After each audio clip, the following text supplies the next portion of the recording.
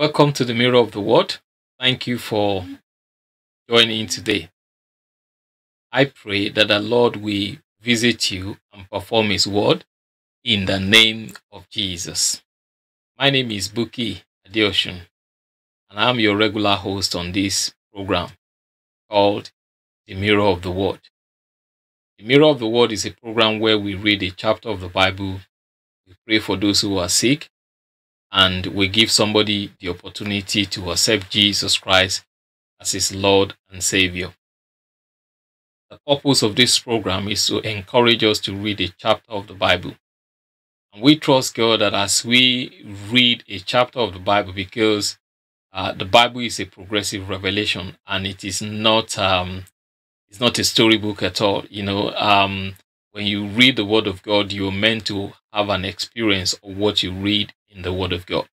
We're told that the Bible is like a mirror, and when we look into it, we see the glory of the Lord. We see the image that God wants us to become, and we are transformed into that image by the power of the Holy Spirit. Say, for example, we read in the word of the Lord where God says, I am the Lord God that heals you. Uh, that's a continuous tense. That means that, you know, you will enjoy long life, you will enjoy good health, you enjoy divine health. So as you talk about that word, the Holy Spirit will transform you into what you are saying. If you keep believing, you keep, you keep saying, I'm not going to come down with illness, even when you feel sick, what you say will come to pass. In our last video, uh, we read Habakkuk chapter 2, and um, we said something which I want to quickly uh, mention to you. We said that um, it's important for us to write things down. It's important to write your vision down and then run with it. So um, we're now in the month of August 2018. What's your vision for 2018? Have you dropped your vision along the line, or you've still got them written down somewhere, or you've already accomplished what you set out to do? You know, if you don't have a vision for your life, uh, people will ask you to do anything, and you won't even know the reason why you are doing what you're doing.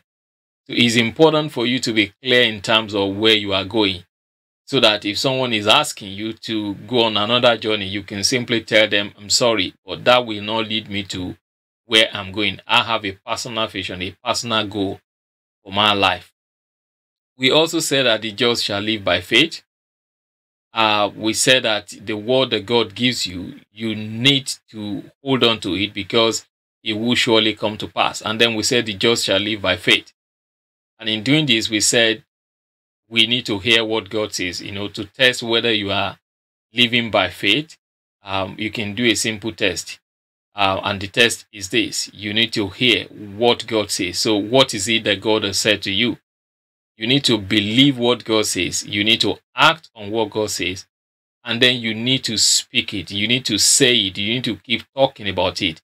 So, if I ask you right now, uh, the word that should be in your heart, should be the word of the Lord that you receive. And finally, you receive the manifestation of what God said to you. So, and then you acknowledge him.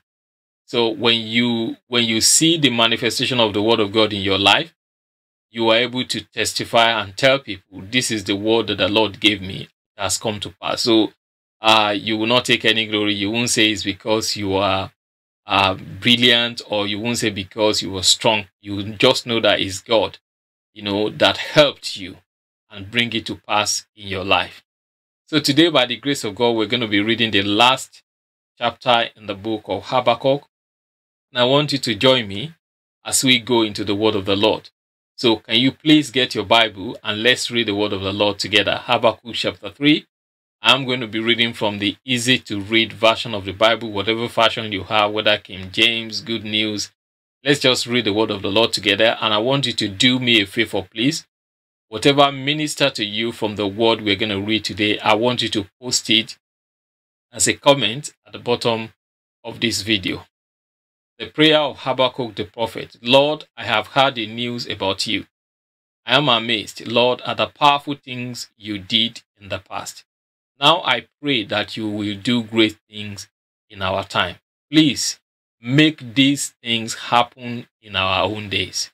But in your anger, remember to show mercy to us. God is coming from Teman. The Holy One is coming from Mount Paran. His glory covers the heaven, and his praise fills the earth. Rays of light shine from his hand, a bright shining light. There is such power hiding in that land. The sickness went before him, and the destroyer followed behind him. He stood and judged the earth. He looked at the people of all the nations, and they shook with fear. For many years the mountains stood strong, but those mountains fell to pieces. Those old, old hills fell down. God has always been able to do that. I saw that the city of Cushan were in trouble, and that the houses of Midian trembled with fear. Lord, were you angry at the rivers? Were you angry at the streams? Were you angry at the sea? Were you angry when you rode your horses and chariots to victory? Even then you show your rainbow. It was proof of your agreement with the families of the earth. And the dry land split the rivers. The mountains saw you and shook. The water flew off the land. The water from the sea made a loud noise as it lost its power over the land. The sun and the moon lost their brightness. They stopped shining when they saw your bright flashes of lightning. That lightning was like spears and arrows shooting through, uh, through the air. In anger, you walked on the earth and punished the nations. You came to save your people and to lead your chosen king to victory. You killed the leader in every family, from the least important person to the most important in the land. You used Moses' walking stick to stop the enemy soldiers. Those soldiers came like a powerful storm to fight against us. They thought they could defeat us easily as robbing the poor in secret. But you marched your horses through the deep water, stirring up the mud. My whole body shook when I heard the story. My lips trembled. I felt weak deep down in my bones and stood there shaking. But I will wait patiently for the destruction to come to those who attack us. Pigs might not grow on the fig trees, and grapes might not, grow, might not grow on the vine. Olives might not grow on the olive trees, and food might not grow in the field. There might not be any sheep in the pens or cattle in the bounds, but I will still be glad in the Lord and rejoice in God my Savior. The Lord God gives me my strength. He helps me run fast like a deer. He leads me safely on the mountains. Praise the Lord. Um, I pray that today the Lord will visit us in a great way. Um, the first thing I want to say is that, you know, uh, we just need to come to that point in our life where we cry unto the Lord and say, Lord, remember me. And I pray that the Lord will remember you for good in Jesus' name. Remember me, O Lord, and do for me what you did for the people of old. Let me experience what I have read in your word. You know, like I said, that the Bible is not a storybook. Everything that is written in the word of God, we are meant to experience them. Psalm 106, verse 4 says, Remember me, O Lord, with the favor that thou bearest unto thy people. Oh, visit me with your salvation. Let visit me with your salvation. Now, I want to read that Psalm, Psalm 106, verse 4. I want to read it in another translation of the Bible. It reads, Lord, remember me when you show kindness to your people. Remember to save me too. Let me share in the good things that you do for your chosen people. That's our prayer. Lord, let me share in the good things. You know, there are good things that God has reserved for his own people, the people that he has chosen.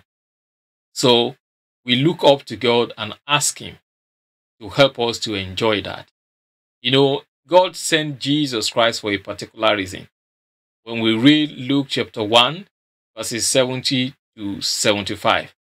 we're told there that God sent Jesus Christ to deliver us from the hands of the enemy and from those who hate us, so that we may serve him without fear, in holiness and righteousness before him all the days of our life. And I believe that's why Habakkuk began to say that prayer. And he said, God, I've heard what our ancestors say about you, and I'm stopped in my tracks, down on my knees. So he went on his knees and said, Lord, I heard what you did to the to Pharaoh. I heard about how you parted the Red Sea. I heard, I heard about how your people walked through, passed through River Jordan on a dry ground. You know, all those um, things that I'm talking about, I don't think there's anybody with a problem in this world that is greater than any of those problems. But yet, the Lord did great things in the life of these people. I mean, do we want to talk about the wall of Jericho? So Habakkuk is saying here, say, Lord, I have read about those things. I've heard about all those things that you did. Say, do among us what you did among them. You know, um, it's a shame that, you know, in the body of Christ, we think we we work for what we get from God. And and don't get me wrong, uh, I'm not saying that God is not a rewarder of them that diligently seek Him. Of course, the word of the Lord say that God is a rewarder of them. Hebrews chapter six, uh, sorry, Hebrews chapter eleven, of them that diligently seek Him. But we need to come to a point. We need to get to that place in our life, and that's what I am doing today, where we just ask God to do what he did in the past in our life. And not just to do things for us based on what we have done for him. You know, we say things like, you know, uh, when praises go up, blessings come down. You know, in the case of the children of Israel, when it was time for God to visit them, by his hand he raised up Moses. He didn't visit them because they, they, they gave uh, a sacrificial offering. He didn't he didn't visit them because um, they, we, we saw an account of how they prayed and they fasted. But he visited them because he, he said, he said, I have remembered. They said their agony, their pain. I'm praying to God today that, you know, your agony, your pain, whatever it is that you are going through that is really heavy on your heart, the God, we remember the covenant he made with our Lord Jesus Christ on the cross of Calvary and he will visit you. He will remember the covenant that he made with Abraham and he will visit you. You know, the greatest things, have you seen some people and um, you meet with them and they tell you something and look, um, I'm not giving you what I'm giving you because you deserve it, but I'm doing it for you uh, because this is what your parents did for me on the account of somebody else, what somebody did. You know, that's why I'm doing that. So, and that's what I'm encouraging us to do today. Ask God to visit you, ask God to do for you. Let Him do in your life what He did for them. You know, when God visited Sodom and Gomorrah, God delivered Lot because of Abraham. When God visited Jacob, when God visited Isaac in Genesis chapter 26, you see, Um, praise the Lord. Many of us, when we read that account, we say, an Isaac sow in the land, and people who want to take your money. I'm talking about, you know, the Harleen. They are not really shepherds. They are not pastors. All they are after is your money. And they use all sorts of scriptures to extort money from people. When you read verse 1 of that particular scripture, Genesis chapter 26, God told Isaac, said, Don't go to Egypt. Stay in this land, and I will bless you because of your father Abraham. So the blessing of God came on Isaac because of Abraham. God did the same thing for Jacob when he, he, he ran away from his brother. Uh, God met with him and God told him, He said, I will be with you and will bring you back to this land. So all we are asking God for is, say, Lord, today, do in my life, do among us what you did among them. I, I love Gideon. The angel of the Lord appeared to him and said, O mighty man of value. He said, How dare you call me, O mighty man of value? He said, Where be all the miracles? The Lord did great miracles in the Acts of Apostles. Oh my God. We are asking God that the same miracles, the same thing that He did in the Acts of Apostles, or uh, let me put it, the Acts of the disciples, because it's really just it's really just not the Acts of Apostles. Lord, did this do the same thing in our life. Walk among us as you walk among them. Let that be your prayer point as from today. So don't just say, Lord, uh, because I have given unto you, give back to me, Lord, because I pray. No, say, Lord, all I'm asking you to do is give me what I do not deserve. Because I have seen the way you treated the people of the old. You didn't give them the land because they deserve it. You gave them the land because you made a promise to our father Abraham. And you said that I am connected to Abraham since I belong to Jesus. So, Lord, I'm asking you that what you did in their life, I want you to also do for me in Jesus' name. So, we need to humbly ask God, please demonstrate your goodness, your holiness, your beauty, your mercy, your favor, your kindness in my life.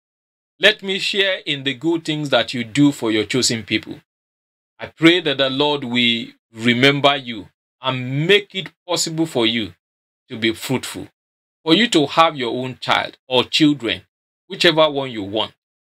I pray in the name of Jesus that the Lord will visit you. The same way the Lord remember Sarah and the Lord visited her as he has promised. I pray today in the name of Jesus, whatever time you are watching this video, exactly a year to the time that you watch this video, the Lord will visit you with a child. In exactly one year, you will handle, you will carry your own child in the mighty name of Jesus.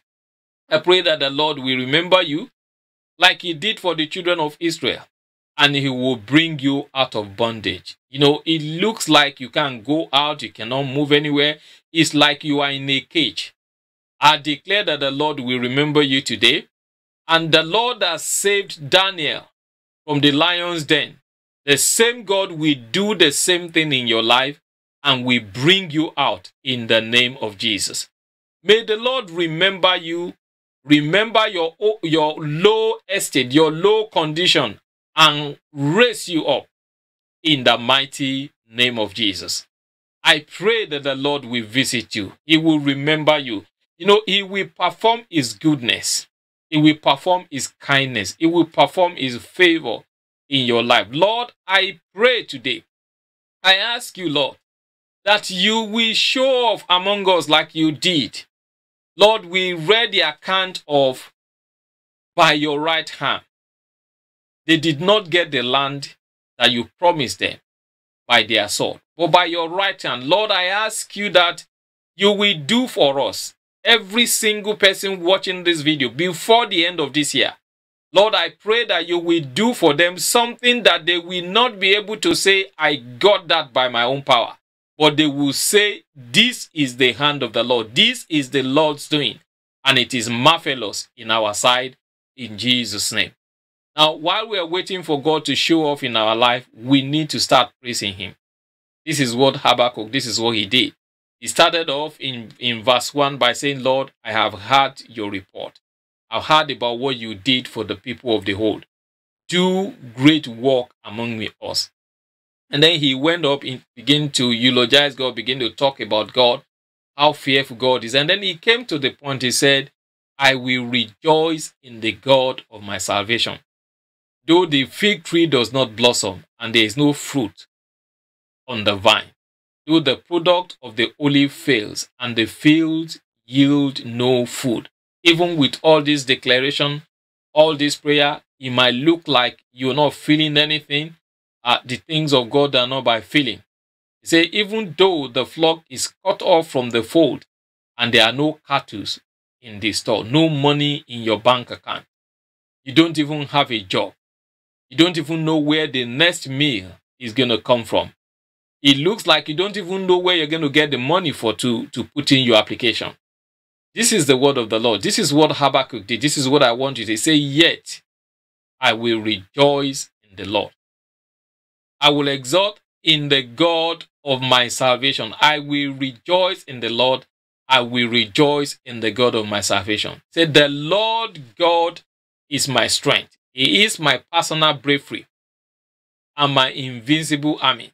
He makes my feet like hinds feet and will make me to walk, not to stand still in terror, but to walk, to make spiritual progress upon my high places of trouble, suffering, and responsibility.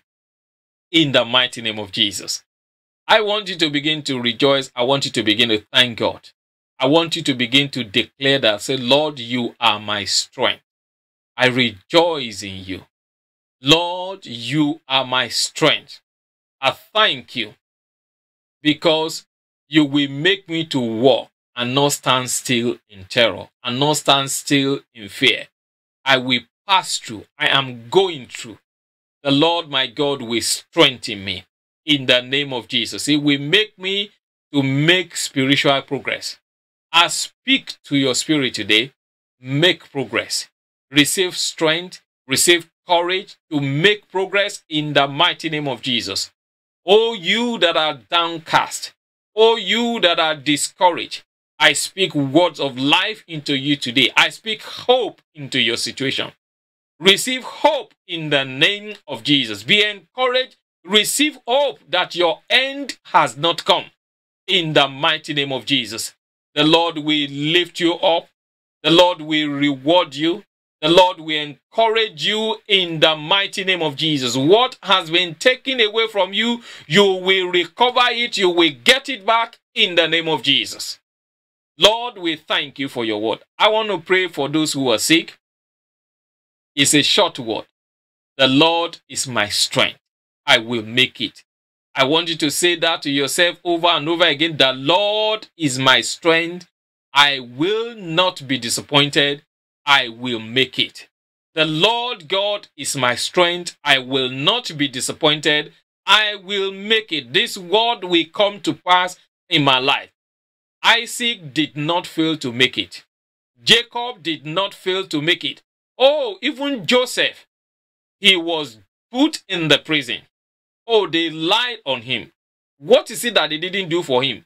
But he did not fail to make it. So I will not fail to make it. I will make it in the name of Jesus. I declare that you will make it. You will have victory is yours in Jesus' name. I command doors to open for you right now in the name of Jesus. Lord, we thank you. We bless your name. Lord, I pray for every single person watching this video right now that is sick. Lord, we receive, we release your grace. We release your blessing. We release, Lord, your anointing in the name of Jesus. Holy Spirit, I ask you to do what you know how to do best. Raise them up from their sick bed in the mighty name of Jesus. So prahastan lekedia. Lord, I command somebody that has problem with, with the breast. I don't know whether it's breast, breast cancer. There's something like a, a pulse or whatever. And you, I, I declare that you are made whole right now in the mighty name of Jesus. Lord, I give you praise. Lord, I give you praise. Lord, I give you praise. Uh, there, there's somebody you are watching is that something is eating you up. So you can't explain it, but something is eating you up. Uh, you are emancipating, something is eating you up. You are healed of that illness right now in the mighty name of Jesus. The demon that is responsible for that sickness, I command you to go in Jesus' name. For the word of the Lord says that I will cast out them. So I cast you out from that body. That temple belongs to the Holy Ghost. You cannot share it. You can't share it with God. So I command you to go from that body right now in Jesus' name. Lord, I thank you for all these miracles. I thank you for all these miracles. I want you to begin to thank God. I want you to begin to rejoice. The Lord God is my strength, my personal bravery, my invincible army. The Lord will fight for you. The Lord is fighting for you and you will hold your peace. I speak the word of the Lord to you today, the same way the wall of Jericho came down And the children of Israel could not explain till tomorrow how it happened.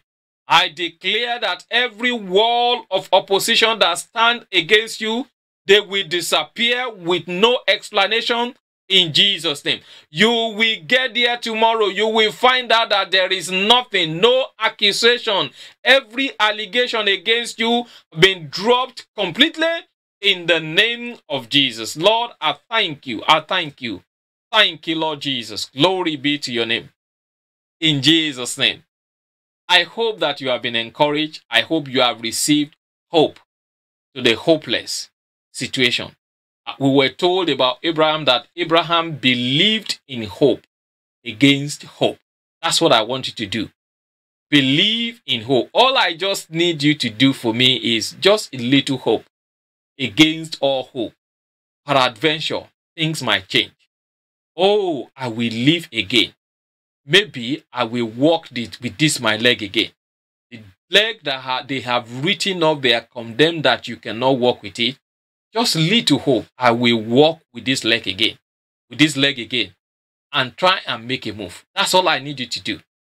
Now, if you don't know Jesus as your Lord and as your Savior, I want you to accept Him. I want you to become born again. Jesus Christ came so that we may have eternal life. And eternal life is knowing God. You know Him as your Father. And you know Him as your God. So if you want to accept Jesus Christ as your Lord and as your Savior, I want you to please say these prayers after me. Say, Lord Jesus, I confess that I am a sinner. I repent of my sins today. Believe you died for me so I can have eternal life. I ask you to come into my heart. Be my Lord and Savior in Jesus' name. Amen. Thank you very much for saying that prayer. You're going to see our email address at the bottom of the screen.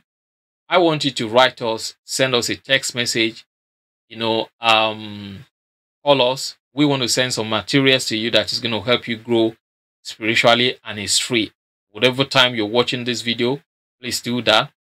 I want you to find a local church around you that you can be part of. Just go and join them so that they can support you in your newfound faith. And uh, I want you to also get in touch with us if you want to be part of our fellowship. We do series of online um, meetings. On Friday, we every Friday we have online online interactive Bible study that you can be part of. Tuesday we have online prayer meetings, so you can phone in, you can join on the internet, 9 to 9.30. You're going to see our flyer on the screen shortly. Um, and then we have the Mirror of the Word, which is this program. We do it every day, apart from those days when we have those meetings. Uh, that starts from 10 to 10.30 every evening UK time. Uh, you can be part of any of these meetings. And if you want to be part of our fellowship, we meet on Sundays at Luton. Uh, every Sunday, uh, every Sunday service is a communion service. So we want to encourage you to join us and be part of that uh, meeting. May God Himself, the God who makes everything holy and whole, make you holy and whole, put you together, spirit, soul, and body, and keep you fit for the coming of our Master Jesus Christ. The one who called you is completely dependable. If He said it, He will do it. Thank you so much for watching this video. I want to encourage you to go on our um, YouTube channel. We have other videos, the videos that we've done from Habakkuk chapter 1, chapter 2 and now chapter 3 so you can see other videos and then so that you can have a full picture.